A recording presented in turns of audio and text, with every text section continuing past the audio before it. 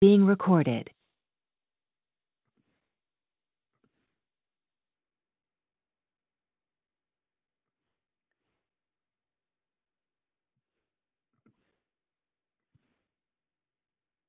All right.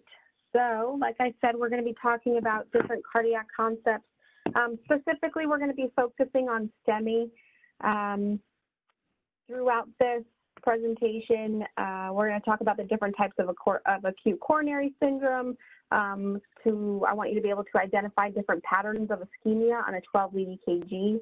Um, and then we're going to talk about just common ICU cardiac emergencies that happen.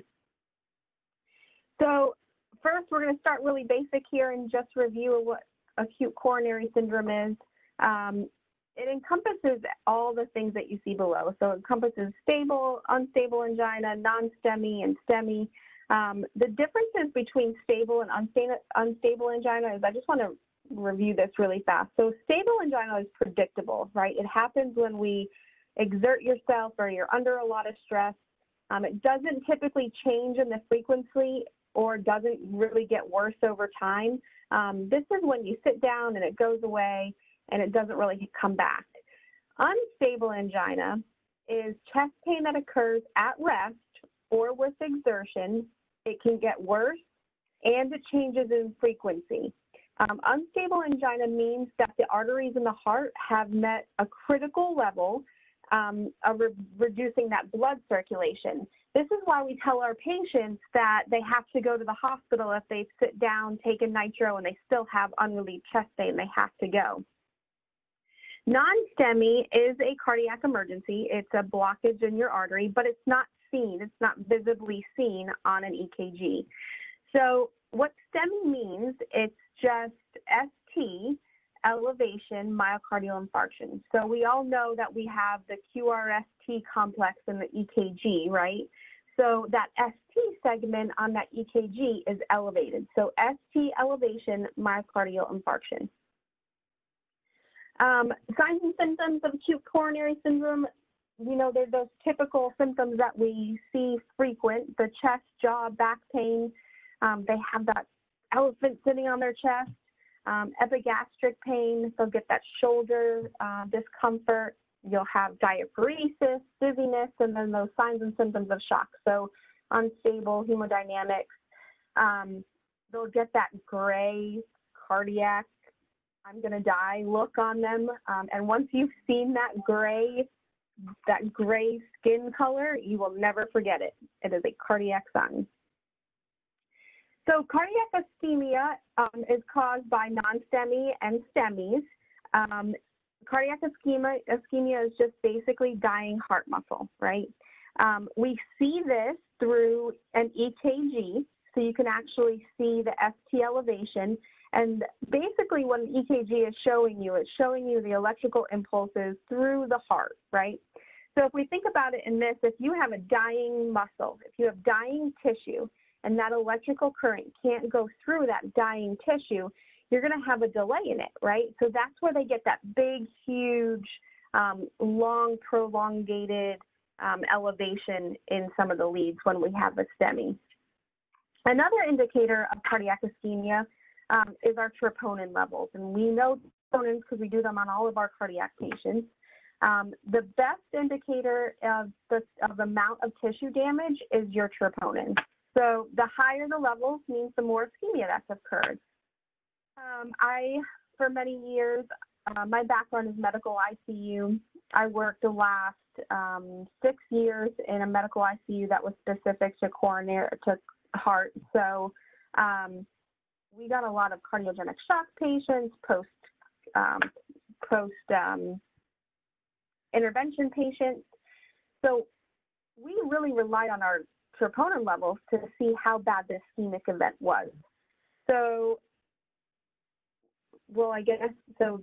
We had like this little thing in the unit that where I used to work that we would have this board of um, most craziest lab values that we've ever seen. Um, and before I left, the troponin that came in was like 1200. Um, it was on a gentleman that came in. He had a huge um, left anterior descending occlusion, um, lots and lots of cardiac ischemia, dead muscle. Um, he ended up not surviving, but he, when he came to the unit, he was alive, so we were allowed to put him on the board. So that's the highest troponin I've ever seen. You can try to think back and see what the highest troponin you've ever seen is. So a STEMI, let's let's talk, talk about STEMIs. Um, ST elevation myocardial infarction. We know that this is an emergency because the electrical impulses are struggling to get through the heart wall, right? So um, in order for it to be a true STEMI, you need to have elevation and two leads with reciprocal changes. And what I mean by reciprocal changes is it needs to it needs to have depression on the other side. So if you think of an EKG kind of like a mirror, right? We're seeing through the heart. Whatever happens on one side of, the heart, the opposite needs to be happening on the other. So um, when we look at an EKG, we can identify the area of the heart that the ischemia is happening by what leads it's in. So for an inferior infarct, you're going to see elevation um, in leads 2, 3, and AVF. Um, hold on one second. I don't know what that is. Annie, I don't know what that means that you want to annotate the the presentation.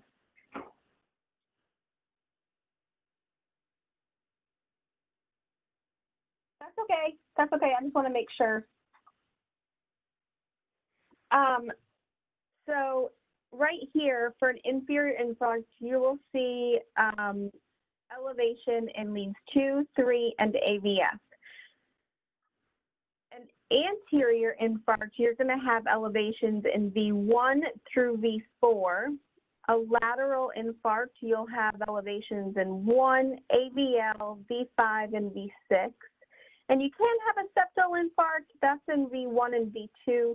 Um, septal infarcts usually don't come into the emergency room complaining of chest pain and they come and they find that you have a septal infarct. That's not usually the case. Septal infarcts are usually like super quiet. They don't cause, you know, that much pain or anything. It's usually found on a pre-op exam. Um, one second. All right, so let's talk about inferior first. So an inferior STEMI is going to be seen on with elevation in leads 2, 3, and AVF. So if we think about the inferior of the heart, right, the inferior means that there's usually RCA invo involvement. Um, the RCA feeds fresh oxygenated blood to your SA and your AV node. And if we remember back to nursing school, we know that our SA and, I, and our AV nodes um, are the pacemaker of the heart, right? So if they're not firing for the heart to function, we're going to see lots of bradycardia happening. So our patients are going to come in, their heart rates are going to be slow. They're going to be in second degree type 1 block usually, um, nausea and vomiting, lots of nausea and vomiting risk of mitral regurg and papillary muscle rupture. I'm going to talk about this more in a second, um, but I want to really focus on inferior infarcts we should not be giving nitro to. So if, let's just think about this really fast. So if we have an infarct on the right side of our heart, right, those are preload dependent. They need that preload. So if we're giving nitro, nitro decreases preload. So we we're actually doing a disservice to our patients by giving them nitro with an inferior infarct. Um, it's really important to make sure that you know where the infarct is on the EKG. So knowing, oh, I have elevation in 2, 3, and AVF, I'm going to talk to the doctor and make sure that they, they want me to really give this nitro or not. Um, papillary muscle ruptures is a common um, um, thing that you might see after not really that common actually. I've seen it one time. Um, there was a lady that came in. She had a huge RCA infarct, um, came back, was doing good, and then all of a sudden we lost. She became hemodynamically unstable. Looked like garbage. All the signs and symptoms of cardiac of cardiogenic shock brought her back to the cath lab. We thought that she was reoccluding.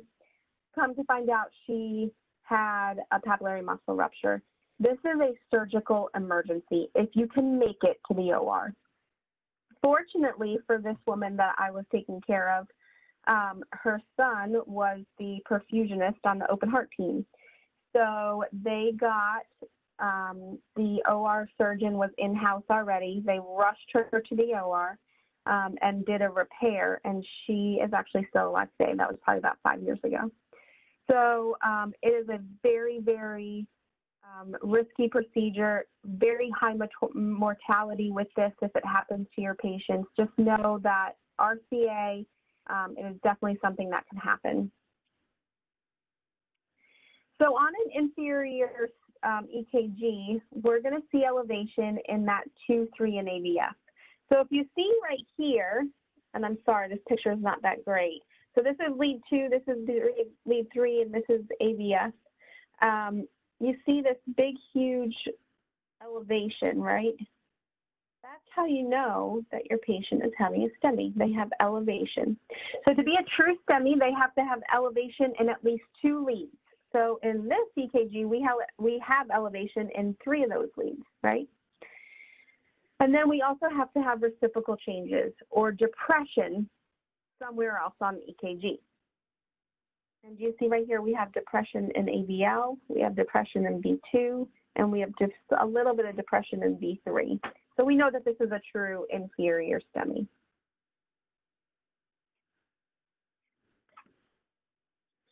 All right, let's talk about anterior STEMIs.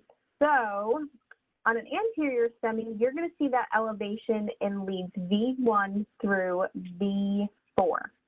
Um, the anterior feeds the LAD, or the left anterior descending artery. Um, this is the big one, right? If we think about where our left anterior descending is, it's the left side of our heart. And what's the sole purpose of the left side of our heart? It's to pump, right? So if we cut off oxygen supply from that, our heart's not going to be pumping very well, is it? Um, they have also called this, called this the widow maker because um, back in the day, a long time ago, if you had an LAD occlusion, you um, that was it. There was no, that was it.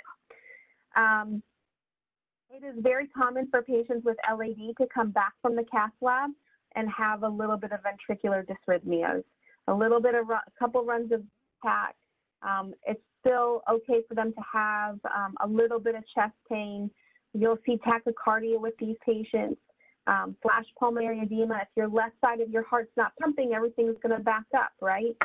So um, they'll get flash pulmonary edema, and then these are the patients that are the cardiogenic shock patients. Um, so let's talk really fast about why I said it's okay for these patients to have a little bit of um, ventricular dysrhythmias or some a little couple runs of V-tach and some chest pain.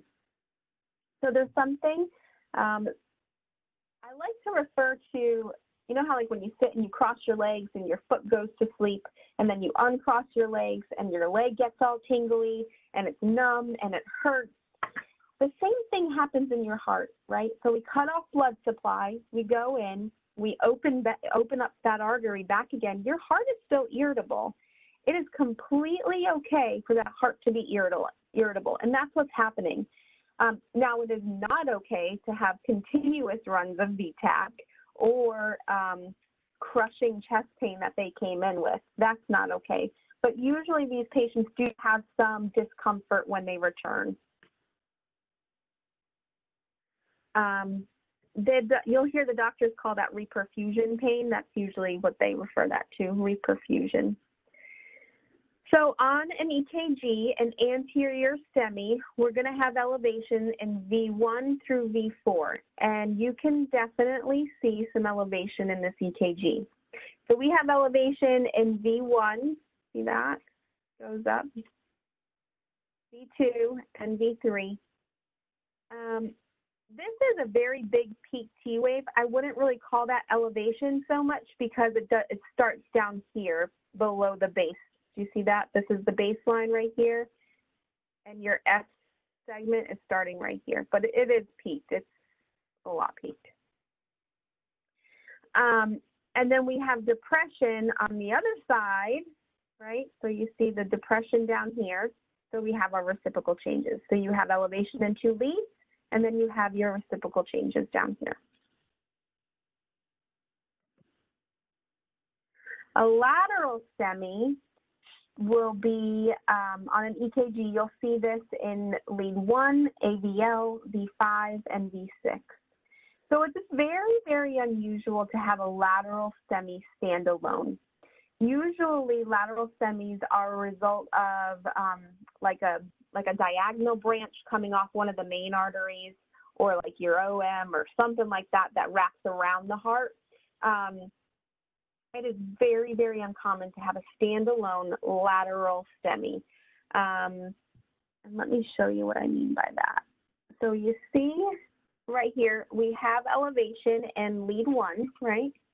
And then we have elevation in AVL. So we know that if we have elevation in one AVL, V5, we do have elevation in V5, and not a whole lot of elevation in V6 do you see that um, we have reciprocals right here in two or in three, V1? This is actually a um, an LAD occlusion. There's elevation in V5 here. So we know that this is like a wraparound um, branch. So this was actually the first diagonal branch of the LAD that has occluded. Um, I'm going to challenge you guys to look at every single EKG that your patients come in with. The more that you practice with them, the more that you look at them, the better you'll get at reading them. So we all know that the standard treatment for um, um, STEMIs, non-STEMIs is MONA, morphine, oxygen, nitrate, and aspirin, right? Um, gold standard is to send our patients to a cath lab. They need that percutaneous catheterization. Um, door to balloon goal is less than 90 minutes. Um, I am very proud to say that all of our hospitals in the South Atlantic Division that um, do interventional cardiology are way below this 90 minute mark, which is fantastic. And then if you happen to go to a facility that doesn't do interventional cardiology, um, they're still doing fibrolytics. Usually the gold standard is, is that they will transport you immediately to a hospital that can put a stent in. So, uh, like I said, gold standard is cardiac catheterization. If they get in there and they see that there's lots of vessels that have occluded, uh, usually they'll just refer for open heart surgery to repair that. Nursing management, it's really site management. If you were doing more and more of the radial sites, um, which are my favorite to take care of, so the easiest, the patients can get up, walk around, they don't have to lay flat, it's fantastic. Um, but then we still occasionally go to the groin site there. Um, we're going to monitor our patient for dysarrhythmias. Again, it's okay to have a couple of beats of run of V-tach or um, reperfusion if you ever question whether it's reperfusion or something's going on, call your physician. Being in constant contact with your physician is best practice so they know what's going on. Um, these patients, when they come back from the cath lab, are always at risk for stent thrombosis, for reocclusion of that vessel. Um, they go in there and they're kind of rotor-rootering around, right? And they're messing with all this plaque and disturbing it. And um, a piece of that plaque can break off later on and reocclude that brand new stent.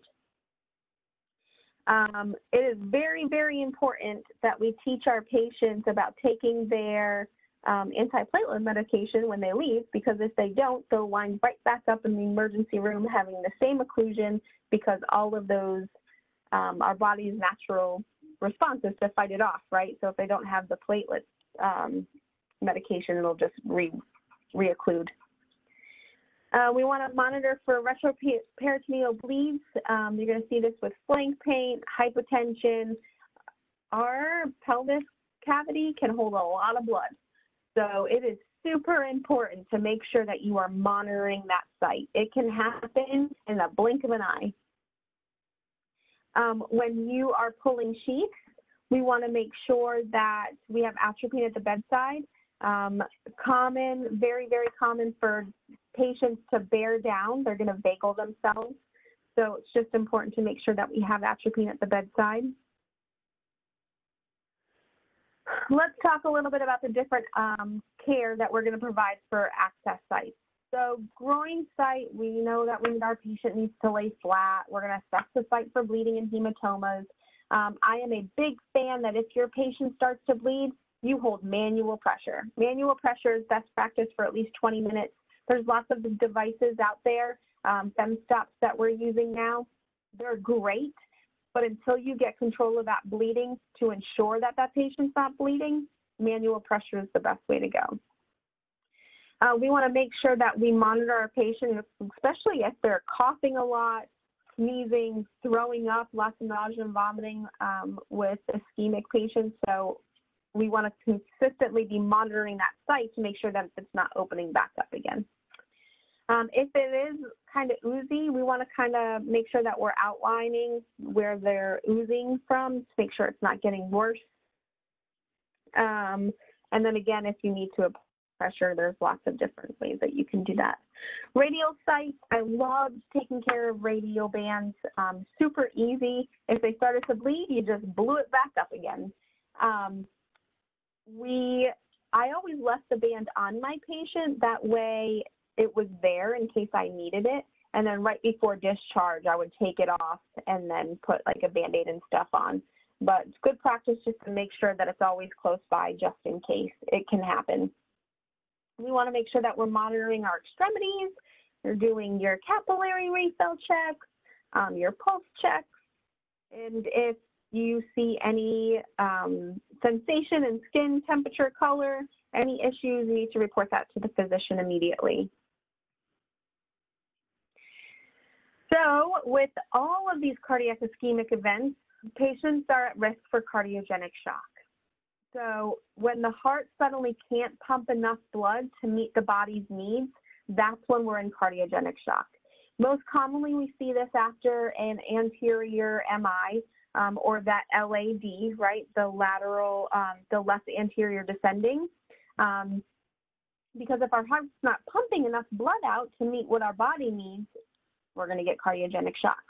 Um, cardiogenic shock patients have up to a 50% mortality. So um, these are the sickest of the sickest patients that come in. You're going to see them, they're going to be tachypneic, they're going to have pulmonary edema, you're going to be able to hear an S3 sound, they're going to be cool, clammy, they're going to have that nasty gray cardiac tinge to them. Um, of course, they're going to be hypotensive. If we think about hemodynamics, what happens in cardiogenic shock? Their SVR is going to be elevated, their pulmonary pressures are going to be elevated, they're going to have a decrease in cardiac output. Um, we can always look at a CVP if we have a central line. Their CVPs are going to be elevated.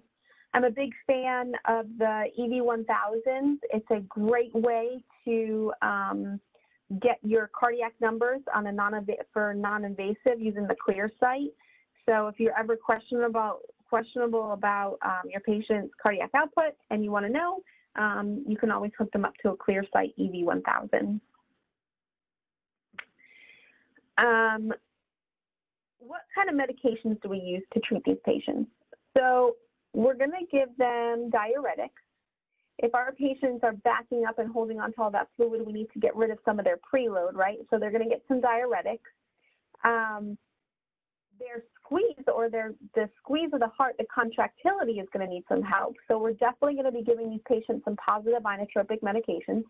Um, most commonly, we use dobutamine, um, milrinone, maybe some dopamine. Um, we're really going to want to manage those arrhythmias and watch for, you know, the deadly arrhythmias, V-tach. Our patients, when their hearts get irritable, they're irritable.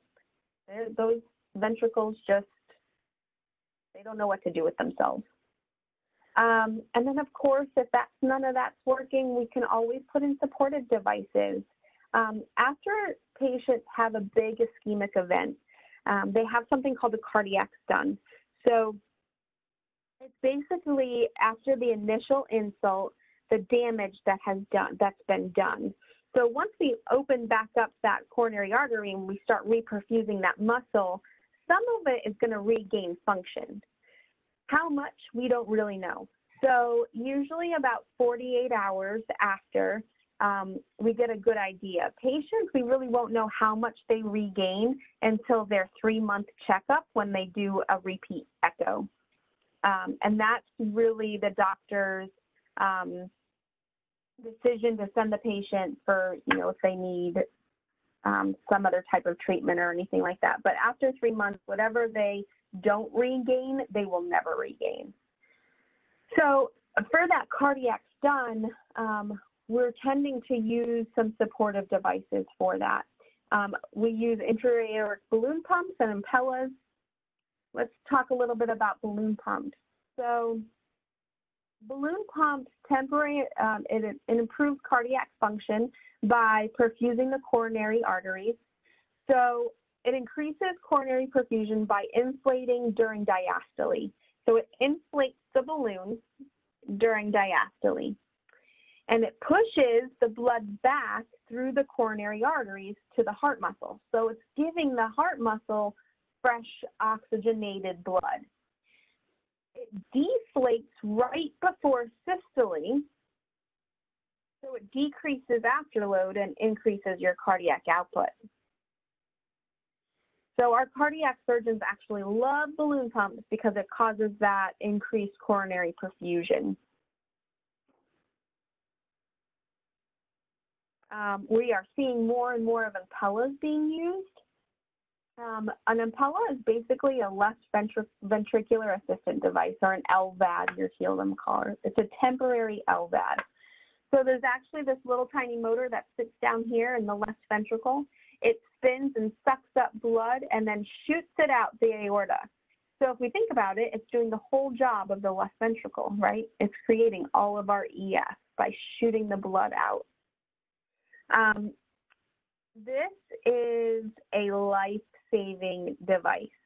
So for those patients that have severe cardiac stun, we really like to leave these in um, for 24 to 48 hours to see how much of that function those patients regain.